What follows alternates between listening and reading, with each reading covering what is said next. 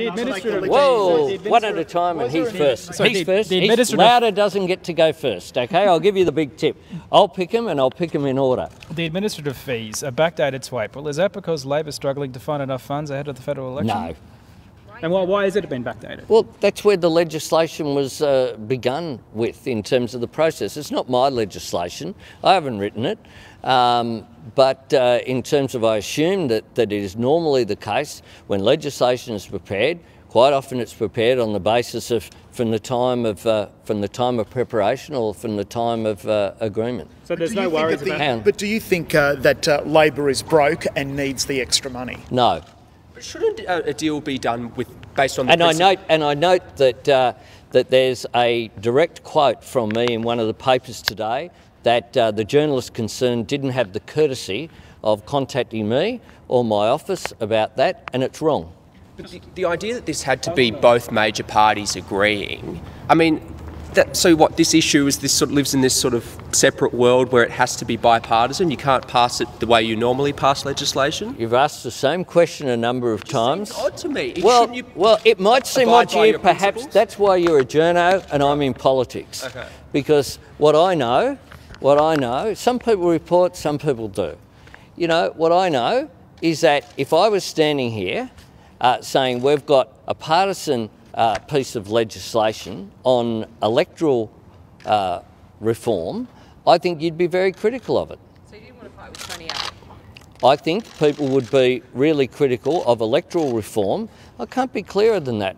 I think where, where possible, where possible, electoral reform should be conducted in a bipartisan way wherever possible. On, on another question of reform, You can disagree with it, but it's, uh, it's my position and it's been my position the whole way through. And I might add that that is totally consistent with the way that most electoral reform issues have been dealt with, not just in this parliament, but in previous parliaments as well. And that when, when there has been attempts to have uh, partisan uh, differences, and there are differences within uh, the political parties over a range of things, including issues such as voluntary voting, including a range of issues. If it was the case that a government was able to or, or endeavoured to abuse its position to entrench uh, its, uh, its electoral, uh, its current electoral position by changing future outcomes, I think that the media would quite rightly be very critical. on another question of reform, reform of the caucus, do you support the idea of the caucus uh, appointing the executive? Well, uh, l- let's be clear about what used to happen. What used to happen was that the factions and the faction leaders, and you know, I'm not uh, immune from those issues, uh, would uh, determine there'd be a ballot, not in the caucus, the ballot would be within the left, uh, within the right, they'd do it within the respective state branches of the right. So it'd be little ballots in little rooms, and then a, uh, a slate presented to the caucus. I was here from 1996 to uh, 2007 uh, as a member of the opposition. During that time, there were ballots for leadership and deputy leadership. There weren't ballots held in the caucus. If this is a deal, just back to electoral funding. If this is a deal to be struck between, I've, I've answered. no, no, no, just one more question. You question. can disagree with me. If this but is, if that's- but can you just answer this question? If it is a deal between the two major parties, if it is a deal to be struck between Julia Gillard and Tony Abbott, why then, in the agreement that Julia Gillard and Wayne Swan signed Look, with Rob Oakeshott, I've- is point three point one actually explicitly outline I've- I've- electoral donations? I've, I've answered the question. haven't. I, ha- I have the answered the question. You disagree with me. Just back, on, back on the caucus reform, is there? Yep. Do you think there are, are there should be some changes to the way the executive is appointed, or should it be in the hands of the Look, leader? I think I, I think in terms of the reforms that the party needs, uh, very different from uh, talking about uh, the uh, the executive and the way that it's chosen. What I want to see is the democratisation of the party from the grassroots up. I want to see more power given to individual members of the party, and uh, I want to see that across uh, the spectrum. Um, I think it's worthy of consideration of the party membership having a say in the leadership of the party. I think it's worthy of. I think it's worthy of these issues being debated within the party.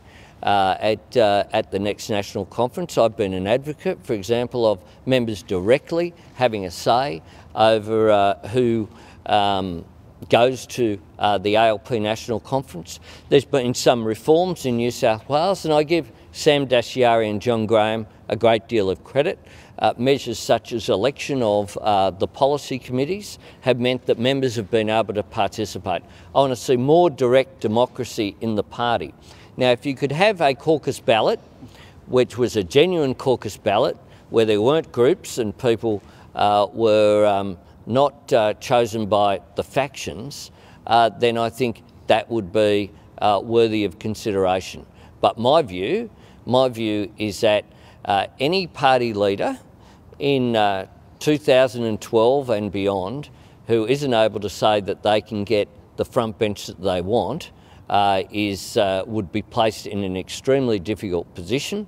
And I also say that when I look at the front benches from 1996 to 2007, uh, I can't look at you and say that I agree that that was the best team that was available. There's been some disquiet in the backbenches in recent days or a number of issues. Are you 100% certain that it's not Kevin Rudd supporters agitating behind the scenes, as reported in some of the papers today? Absolutely. So you can categorically deny there's no Uh, renewed push? Absolutely, absolutely. I'm I'm a friend of Kevin's. Um, make no secret of that. I've been a friend of Kevin's for a long time. I will be And you for a lo- for a long time. Uh, Kevin's been consistent about all of this. Uh, some journos do the sort of jump around and and uh, jump at shadows. Uh, Kevin is doing his job. I was with uh, him and Wayne Swan in Brisbane at a very successful uh, press conference about the Cross River Rail project, and I know that uh, Kevin's continuing to do his job as the member for Griffith. Uh, I expect that he'll continue uh, to uh, to do that. And uh, the only discussions that I've seen Kevin Rudd engaged in are issues of policy that are of interest uh, to uh, to his electorate and uh, and broader issues. And so I think in terms of uh, people uh, looking for uh, motivations that simply aren't there and trying to join unconnected events um, is, uh, I think, uh, just uh, not the case. The fact is that uh, uh, internal issues were resolved, uh, resolved clearly, and uh, we're uh, all getting on with the campaign of, uh, of going forward to the next election. Thanks very much. Thank you.